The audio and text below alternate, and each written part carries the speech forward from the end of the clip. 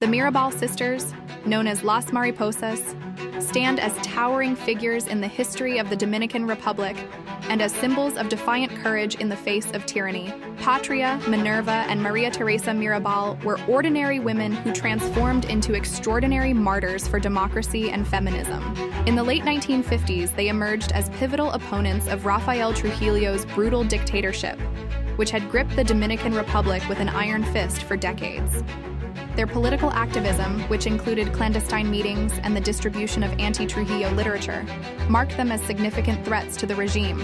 Their assassination on November 25, 1960, intended to silence their dissent, instead sparked outrage, catalyzing the opposition and leading to the eventual downfall of Trujillo's regime. The legacy of the Mirabal sisters transcends their martyrdom.